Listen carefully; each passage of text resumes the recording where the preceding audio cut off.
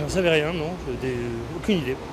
Si, si, il y avait bien des punaises dans ce cinéma. La semaine dernière, des clients ont été piqués pendant leur séance par ces insectes qui se nourrissent de sang dans les espaces chauds et humides.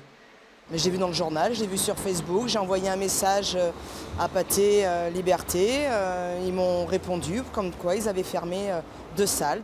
Habituellement, on les trouve dans les maisons, plus particulièrement dans les meubles, les matelas. Mais alors, comment des punaises de lit se sont retrouvées dans une salle de cinéma?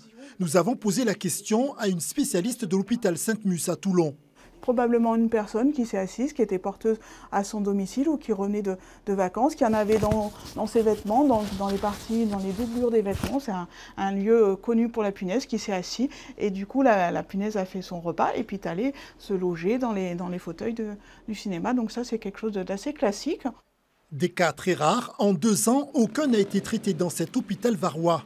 Mais pour rassurer ses clients, la direction du cinéma Pâté Liberté a décidé de fermer les neuf salles que compte le complexe pour une journée de traitement, coût de l'opération estimé à plus de 10 000 euros.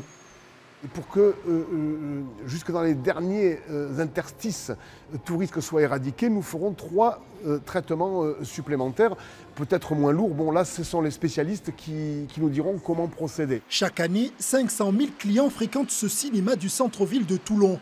Il rouvrira ses portes ce vendredi.